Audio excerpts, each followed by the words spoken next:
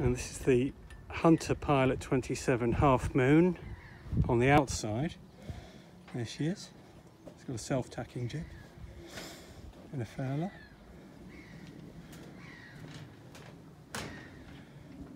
There we are.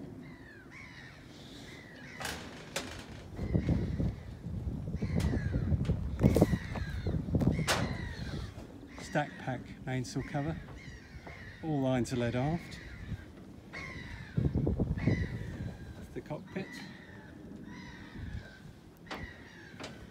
Uh, she has davits. It's the transom with a, a boarding ladder life buoy. Uh, Raymarine Instruments and Garmin plotter.